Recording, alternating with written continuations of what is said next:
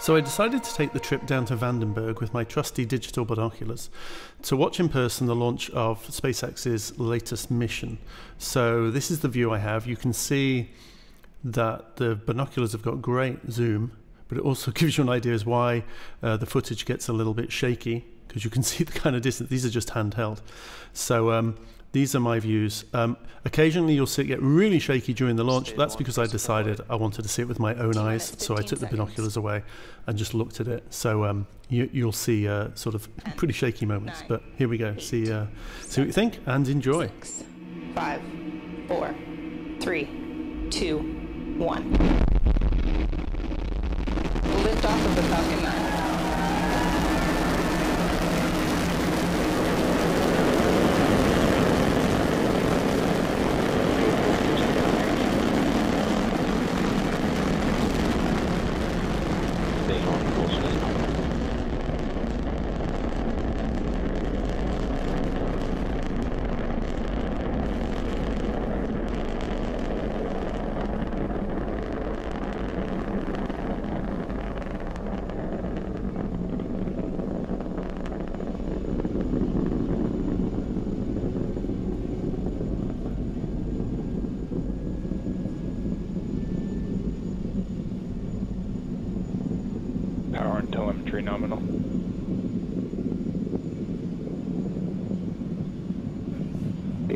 Falcon 9 has cleared the tower and is now headed upward on its mission to sun-synchronous low Earth orbit.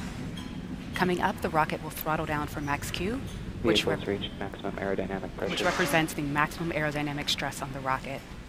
We're now headed into a series of events that will occur in rapid succession. That's MECO, stage separation, and SES-1, or second engine start 1. MECO is the shutdown of all nine first stage engines in preparation for stage separation, where stage 2 separates from stage 1, and SES-1 is the ignition of the second stage engine. And back chills begun. Following SES-1, we will turn our attention back to the returning first stage, which will relight three of its engines in a boost back burn to head back towards the drone ship. And then finally, we'll see fairing deployment at T plus 2 minutes and 43 seconds. As mentioned earlier in this webcast, we're attempting to recover the payload fairing, and while we will not have a live video feed of this attempt, we'll share updates as they become available. So in about 20 seconds, you'll hear the call out from MECO. Let's listen in.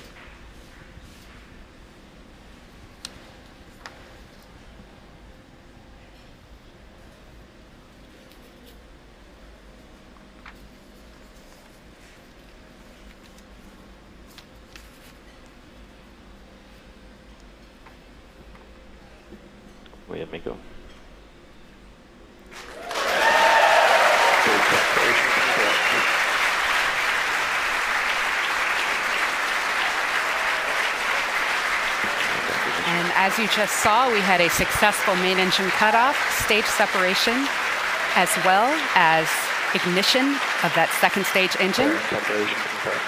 And there goes that fairing.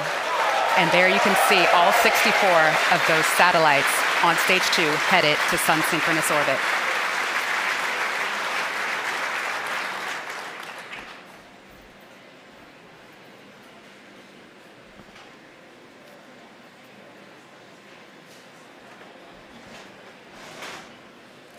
You will hear the call out for the boost back burn ending in a couple of seconds. That's where stage one's burn that brings it back in the direction of the drone ship. That burn will that burn will cease.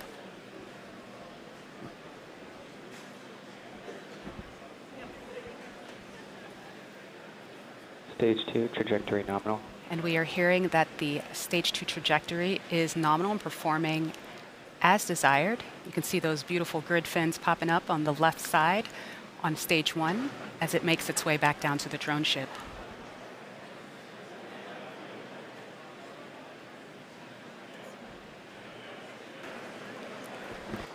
So there's the visual confirmation of that reentry burn.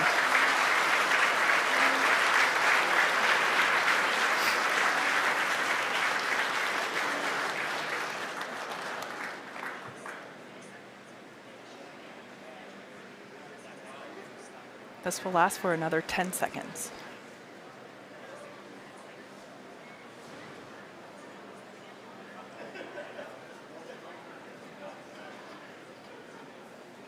We'll be looking for deployment of the landing legs here Losing one landing momentarily.